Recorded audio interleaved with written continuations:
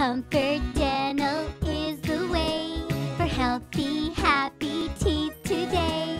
So brush your teeth at least twice a day. Your happy mouth will say. Comfort Dental is the one.